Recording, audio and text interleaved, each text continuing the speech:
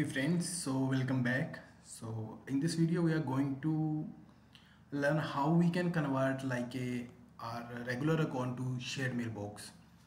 So to do that we need to log on our exchange admin center. Then we need to click on uh, mailbox. So at this moment i'm going to convert my sale india account to shared mailbox. So when we select this account uh, in the right side we can see there is a options. Convert to shared mailbox. We need to click on convert.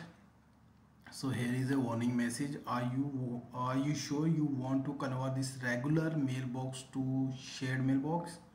Yes i'm 110% sure. Click yes.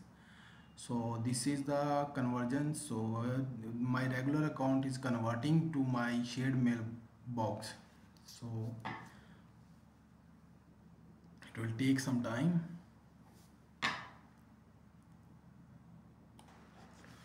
So see uh, there is a message your regular mailbox has been converted into shared mailbox. You have completed this operation. So click close. So refresh.